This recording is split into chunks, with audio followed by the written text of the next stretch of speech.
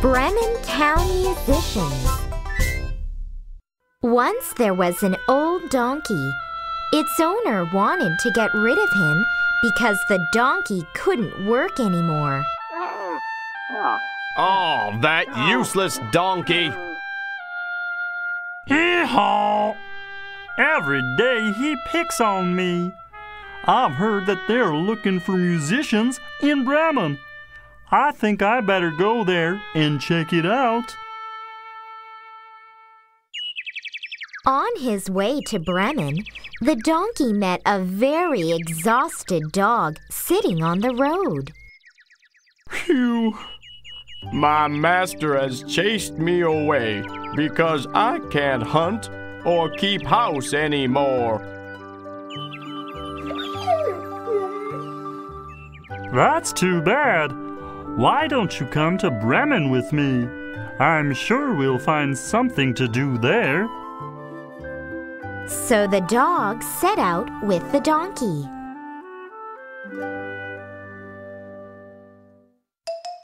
As the dog and the donkey walked along the road, they were startled by something jumping out of the forest. Oh! What, What a shock!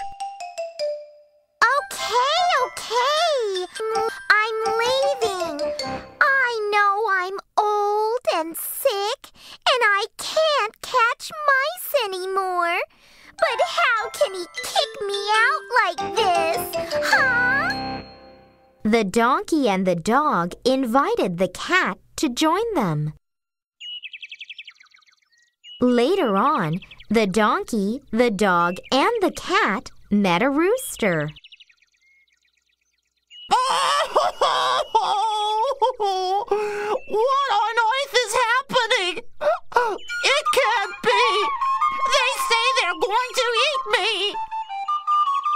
If that's your only problem, you shouldn't be crying so much. I'm really sorry. Why don't you join our music group and leave with us? The donkey, dog, and cat were excited to have the rooster join them.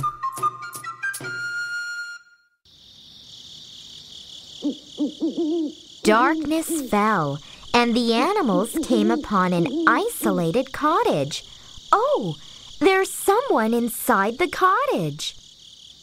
Tomorrow, I think I'll rob the next village down the road. Maybe they're thieves. These men must be thieves. Let's scare them away.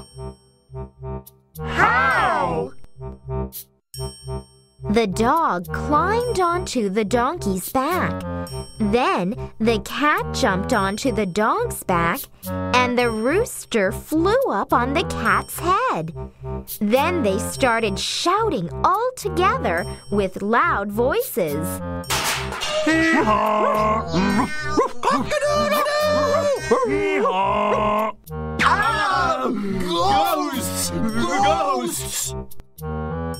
The thieves ran away without even looking back. Excited, the animals went into the cottage. There they found a lot of delicious food to eat. In the meantime, the runaway thieves remembered the treasure that they had left behind. They sneaked back into the cottage.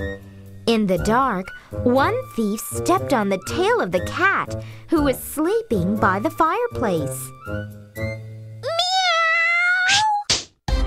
The cat scratched the thief in the face with its sharp claws. The thief tried to run away, but the dog sleeping by the door bit him in the leg. Another thief was standing outside the door. He heard the noise and tried to go inside the cottage. The rooster, who was sleeping on the roof, pecked him on the forehead as he went in. Finally, the donkey, sleeping on a pile of straw, kicked the thief with his hind legs with all his strength.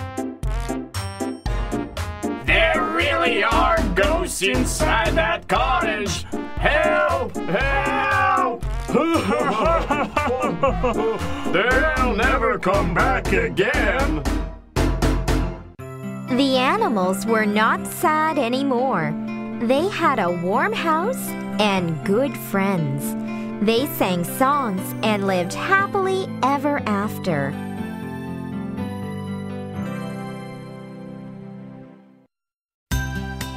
Yeah, all is well. The animals were kicked out by their masters. However, none of them lost courage. By working together, they were able to start a new, happy life.